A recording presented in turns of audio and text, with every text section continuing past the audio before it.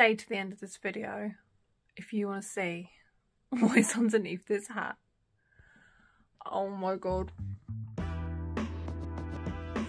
Hey everyone and welcome back to another video. I'm doing another hair one which I said I wouldn't ever do but this is the Blonde It Up um, by Clairol and I thought it says on there lightens up to five shades so I've used these pre-lighteners before this is meant to have no bleach in it whatsoever don't really think I believe that. But anyway I've used these before where it's been like okay I'm going to lighten my hair with a pre-lightener and they've worked.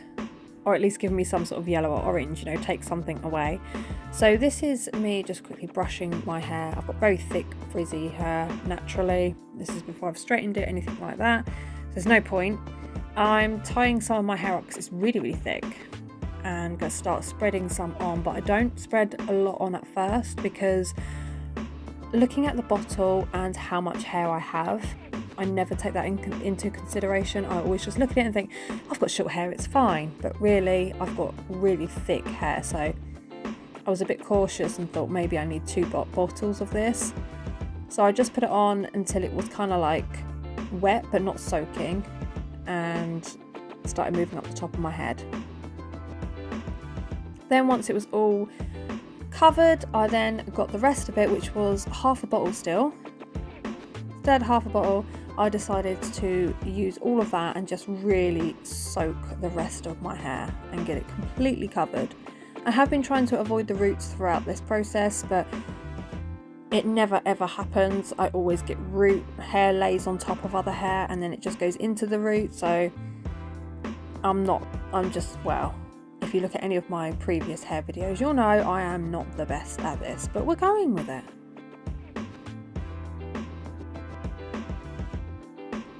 So all completely covered and saturated with all this product. It doesn't smell, couldn't find my comb, so I'm using a hair clipper comb on the end just to sort of spread it through a little bit before I then wrap it with a shower cap. Tuck it all in, try and get some heat in there, hoping for the best. And I'm going to stick a nice towel, perfect colour choice to stick on my head and keep the heat in. I'm somewhat concerned because my roots are looking a little ginger. But I've made cheese toasties, I'm starving, and I'm going to eat them first. But, get to the light.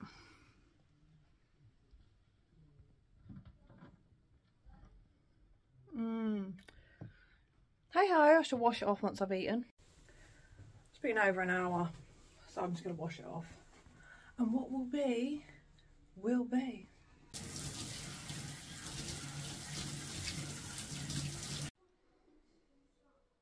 still soaking wet, but you can see it's more brown.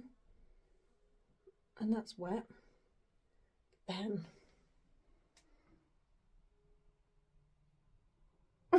Okay, it's still wet, but just going to absorb how bad this is. And then decide what to do going forward. I'm not going to stress it.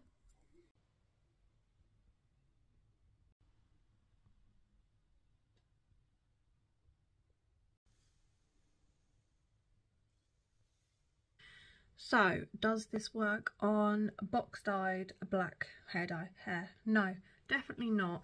I wouldn't recommend it to anybody. Natural hair, yes, I would probably do one box and then do another. My hair doesn't feel damaged. Um, I've just got very thick bushy hair. I have all my life, doesn't matter what I do. Um, it just grows fr frizzy, is that the word, frizzy? Um, and now I'm in two minds, what do I do? do I foil bleach from the root all the way down in very tiny sections and go through the orange stage or do I put dark on it and just be done with it but that's the whole point of doing this is that I don't want to be dark anymore so a little bit unsure at the moment as to what to do my frizzy bush um yeah I'm not sure but do not put this on box dyed hair. It probably says that on there, but I never read them. I'm just like, give it a go. why not? What's the worst that could happen? This is the worst that can happen. Um, doesn't smell really bad. Washes out really easily. The watercolour came out like a urine colour. And yeah, I think I'm just going to probably risk it. What's the worst that could happen? I could go short again. Or I can go too orange and end up going brown. But I'll do something. Right now it's going to be a hut situation until I make my mind up. But thank you so much for watching this video. Please don't go out and buy this if you've got dyed hair like this. And um, yeah, because you just waste your money and then you could end up with a root situation like me. But um, yeah, it's only a, it's under six six pounds, and I won't be using it again unless unless I was like blonde and I wanted to go a bit blonder, which is the purpose of it, not a black box dye. But anyway, thank you all for watching. See you all in my next one and let's see what colour we can go next.